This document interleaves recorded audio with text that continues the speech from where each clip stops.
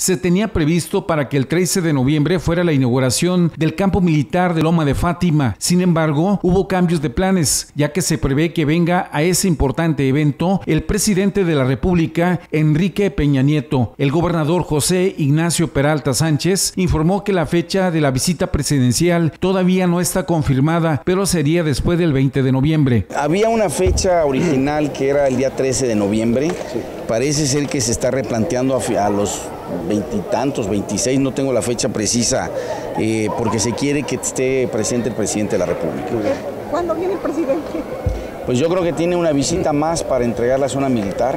Eh, iba a venir hace unos días a festejar aquí el Día del Médico, por alguna razón tuvo que modificar su agenda, pero yo espero que para la entrega de la zona militar eh, venga en lo que yo creo que sería su última visita del licenciado Enrique Peña Nieto como presidente de la República.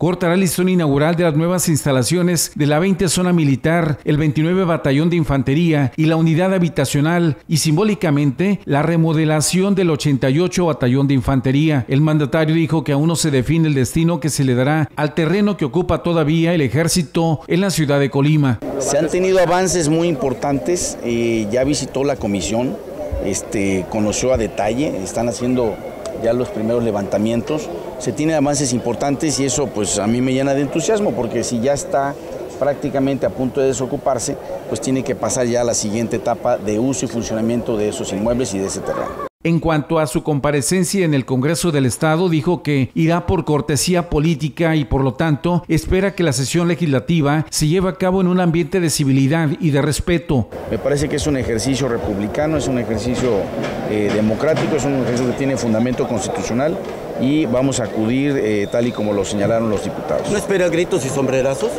¿O aunque los haya? Bueno, eh, yo voy como invitado.